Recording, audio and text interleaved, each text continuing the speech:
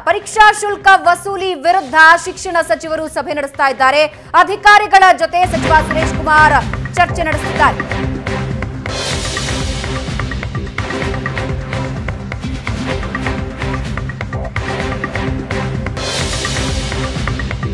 ಸುವರ್ಣ news ನಿರಂತರ ಅಭಿಯಾನ ನಡೆಸ್ತಾ ಇದೆ.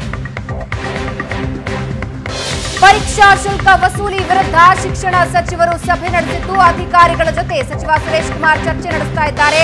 ಆನ್ಲೈನ್ ಶಿಕ್ಷಣದ ಬಗ್ಗೆಯೂ ಅಧಿಕಾರಿಗಳ ಜೊತೆ ಚರ್ಚೆ ನಡೆಸ್ತಾ ಇದ್ದಾರೆ. ಸುವರ್ಣ ನ್ಯೂಸ್ ಅಭಿಯಾನದ ಬೆನ್ನಲ್ಲೇ ಸಚಿವರು ಸಭೆ ನಡೆಸಿದ್ದಾರೆ. ಅರ್ಧ ಫೀಸ್ ಮಾಡುವಂತೆ ಬೆಳಗ್ಗೆಯಿಂದ ಸುವರ್ಣ ನ್ಯೂಸ್ ಅಭಿಯಾನ ನಡೆಸ್ತಾ ಇದೆ. ಸುವರ್ಣ ನ್ಯೂಸ್ ಬಳಿ ಪೋಷಕರು ಕಣ್ಣೀರಿಟ್ಟಿದ್ದಾರೆ. ಪೋಷಕರು, ಮಕ್ಕಳು, ಸುವರ್ಣ ನ್ಯೂಸ್ ಬಳಿ ಕಣ್ಣೀರಿಟ್ಟಿದ್ದಾರೆ. ಎಲ್ಲಾ ವಿಚಾರದ ಬಗ್ಗೆ ಅಧಿಕಾರಿಗಳ ಜೊತೆ ಸಚಿವರು ಚರ್ಚೆ ನಡೆಸಿದ್ದು, ಬಳಿಕ ಸುದ್ದಿಗೋಷ್ಠಿ ಮೂಲಕ ನಿರ್ಧಾರ ತಿಳಿಸುವ ಸಾಧ್ಯತೆ ಇದೆ.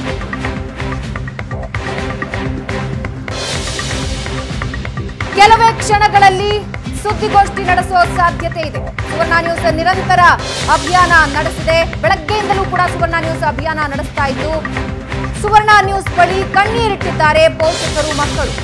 ಅರ್ಧ ಫೀಸ್ ಮಾಡುವಂತೆ ಬೆಳಗ್ಗೆಯಿಂದ ಸುವರ್ಣ ನ್ಯೂಸ್ ಅಭಿಯಾನ ನಡೆಸಿದೆ. ಈ ವರ್ಷ ಶಾಲೆಗಳಲ್ಲಿ ಫೀಸ್ನ ಕುರಿತಾಗಿ ಅರ್ಧ ಫೀಸ್ ಮಾಡಿ ಅಂತ ಸುವರ್ಣ ನ್ಯೂಸ್ ಅಭಿಯಾನ ನಡೆಸಿದೆ. ಇದರ ಬೆನ್ನಲ್ಲೇ ಸಚಿವರು ಸಭೆ ನಡೆಸ್ತಾ ಇದ್ದಾರೆ. ಹಾಗೆ ಆನ್ಲೈನ್ ಶಿಕ್ಷಣ ಏನ್ ನಡೀತಾ ಇದೆ ಅದರ ಬಗ್ಗೆ ಕೂಡ ಸಚಿವರು ಸಭೆಯಲ್ಲಿ ಚರ್ಚಿಸಿದ್ದಾರೆ. ಇನ್ನು ಕೆಲವೇ ಕ್ಷಣಗಳಲ್ಲಿ ಸುದ್ದಿಗೋಷ್ಠಿ ಕರೆಯುವ ಸಾಧ್ಯತೆ ಇದೆ.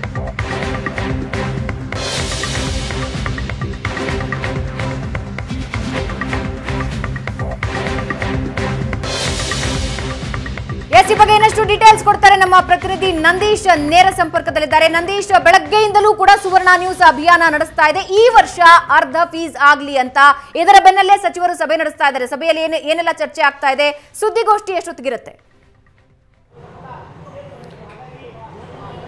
ಭವನ ಮುಖ್ಯವಾಗಿ ಇವತ್ತು ಬೆಳಗ್ಗೆಯಿಂದಲೇ ಕೂಡ ಸುವರ್ಣ ನ್ಯೂಸ್ನಲ್ಲಿ ಏನು ಖಾಸಗಿ ಶಾಲೆಗಳಲ್ಲಿ ಹೆಚ್ಚುವರಿ ಶುಲ್ಕವನ್ನು ಪಡೆದುಕೊಳ್ತಾ ಇದ್ದಾರೆ ಅನ್ನುವಂಥ ಒಂದು ಸುದ್ದಿಯನ್ನು ಇಟ್ಕೊಂಡು ಇವತ್ತು ಬೆಳಗ್ಗೆಯಿಂದಲೂ ಕೂಡ ಸುವರ್ಣ ನ್ಯೂಸ್ನಲ್ಲಿ ಅರ್ಧ ಫೀಸನ್ನು ಕಟ್ಸ್ಕೊಳ್ಳಿ ಅನ್ನುವಂಥ ಒಂದು ಅಭಿಯಾನವನ್ನು ಕೈಗೊಳ್ಳಲಾಗಿತ್ತು. ಇದಕ್ಕೆ ಇದರ ಬೆನ್ನಲ್ಲೇ ಈಗ ಸರ್ವಶಿಕ್ಷಣ ಅಭಿಯಾನ ಕಚೇರಿಯಲ್ಲಿ ಕೇರ್ ಸರ್ಕಲ್ನಲ್ಲಿರ್ತಕ್ಕಂಥ ಪ್ರ- ಪ್ರಾಥಮಿಕ ಮತ್ತು ಪ್ರೌಢಶಿಕ್ಷಣ ಸಚಿವರಾಗಿರ್ತಕ್ಕಂಥ ಸುರೇಶ್ ಕುಮಾರ್ ಅವರು ಅಧಿಕಾರಿಗಳ ಜೊತೆ ಸಭೆಯನ್ನು ನಡೆಸ್ತಾ ಇದ್ದಾರೆ. ಈ ಒಂದು ಸಭೆಯಲ್ಲಿ ಪ್ರಮುಖವಾಗಿ ಎರಡು ವಿಚಾರಗಳನ್ನು ಈಗ ಪ್ರಮುಖವಾಗಿ ಸಭೆಯಲ್ಲಿ ಚರ್ಚೆ ಮಾಡಿಸ್, ಮಾಡಲಾಗ್ತಾ ಇದೆ. ಒಂದು ಆನ್ಲೈನ್ ಶಿಕ್ಷಣ ಶಿಕ್ಷಣದ ಬಗ್ಗೆ ಇವತ್ತು ಅಂತಿಮ ಆದಂತಹ ಒಂದು ನಿರ್ಧಾರವನ್ನು ಸರ್ಕಾರದಿಂದ ಪ್ರಕಟ ಮಾಡಲಾಗುತ್ತೆ. ಇದರ ಜೊತೆಗೆ ಈಗ ಖಾಸಗಿ ಶಾಲೆಗಳಲ್ಲಿ ಹೆಚ್ಚುವರಿ ಶುಲ್ಕವನ್ನು ಪಡೆದುಕೊಳ್ತಿರ್ತಕ್ಕಂಥ ಈಗ ಇಲಾಖೆಯು ಕೂಡ ಸಾಕಷ್ಟು ಪೋಷಕರಿಂದ ದೂರುಗಳು ಬಂದ ಹಿನ್ನೆಲೆಯಲ್ಲಿ ಈಗ ಇದರ ಬೆನ್ನಲ್ಲೇ ಇವತ್ತು ಸಭೆಯನ್ನು ಕರೆದಿರ್ತಕ್ಕಂಥದ್ದು. ಸಭೆಯಲ್ಲಿ ಪ್ರಮುಖವಾಗಿ ಸಾರ್ವಜನಿಕ ಶಿಕ್ಷಣ ಇಲಾಖೆ ಆಯುಕ್ತರಾಗಿರ್ತಕ್ಕಂಥ ಜಗದೀಶ್ ಹಾಗೂ ಡಿಡಿಪಿ ಅಧಿಕಾರಿಗಳು ಮತ್ತೆ ಜಿಲ್ಲಾ ಮಟ್ಟದ ಅಧಿಕಾರಿಗಳು ಸೇರಿದಂತೆ ಶಿಕ್ಷಣ ತಜ್ಞರು ಕೂಡ ಸಭೆಯಲ್ಲಿ ಭಾಗವಹಿಸಿದ್ದಾರೆ. ಸಭೆ ಮುಗಿದ ಬಳಿಕ ಅಂತಿಮವಾದಂಥ ನಿರ್ಧಾರ ಪ್ರಕಟ ಮಾಡುವಂಥ ಒಂದು ಸಾಧ್ಯತೆ ಇದೆ. ಮುಖ್ಯವಾಗಿ ಏನಂತಂದ್ರೆ ಇಡೀ ರಾಜ್ಯಾದ್ಯಂತ ಇವತ್ತು ಬೆಳಗ್ಗೆಯಿಂದಲೇ ಕೂಡ ಸುವರ್ಣ ನ್ಯೂಸ್ನಲ್ಲಿ ಒಂದು ದೊಡ್ಡ